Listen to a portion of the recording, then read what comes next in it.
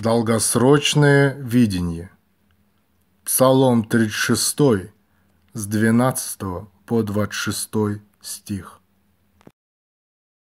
Нечестивый зло умышляет против праведника и скрежещет на него зубами своими. Господь же посмеивается над ним, ибо видит, что приходит день его. Нечестивые обнажают меч и натягивают лук свой, чтобы не зложить бедного и нищего, чтобы пронзить идущих прямым путем. Меч их войдет в их же сердце, и луки их сокрушатся. Малое у праведника лучше богатства многих нечестивых, ибо мышцы нечестивых сокрушатся, а праведников подкрепляет Господь. Господь знает дни непорочных, и достояние их прибудет вовек.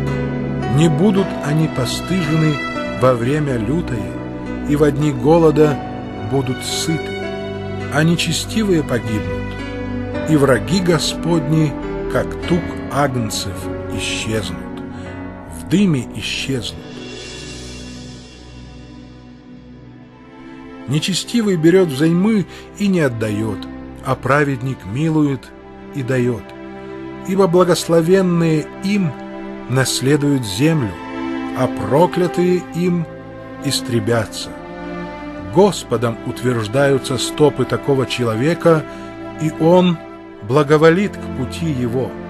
Когда он будет падать, не упадет, ибо Господь поддерживает его за руку. Я был молод и состарился, и не видал праведника оставленным, и потомков его просящими хлеба. Он всякий день милует и взаймы дает, и потомство его в благословении будет. Размышление, часть первая.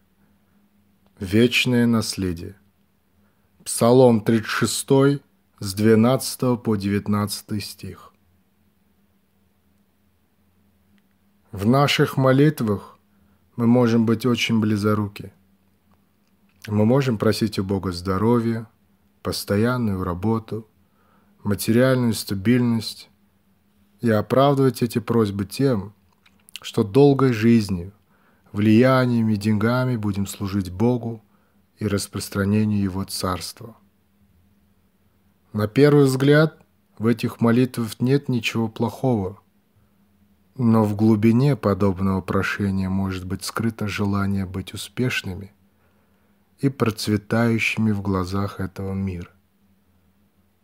Такие молитвы показывают, что мы забыли о вечном наследии, которое намного важнее всего остального в этом мире. По словам Давида, намного лучше быть праведником и иметь малое – чем обрести богатство и славу, но ценой своих отношений с Богом. Что в этом мире для вас важнее Бога? Что ваши молитвы говорят о ваших настоящих желаниях? Размышление. Часть вторая. Утвержденные Господом. Псалом 36 с 20 по 26 стих. Сколько времени и сил мы тратим, чтобы получше устроить свою жизнь?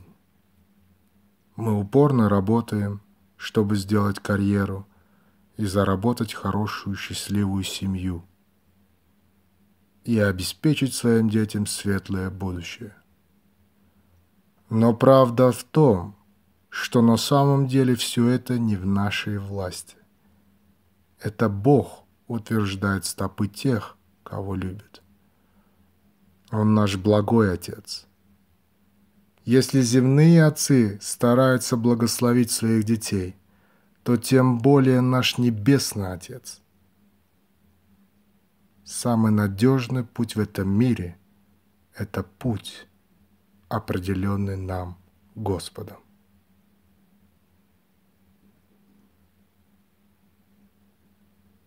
Этот год заканчивается. Попросите, чтобы в следующем 2017 году Бог утвердил ваши стопы. Молитва. Отец Небесный, утверди мои стопы. Я пойду за тобой, куда не поведешь. Дай мне уши, чтобы слышать Твой голос, и смелость, чтобы идти за Тобой. Поведи меня туда, где я смогу испытать полноту Твоей любви. Во имя Иисуса Христа я молюсь. Аминь.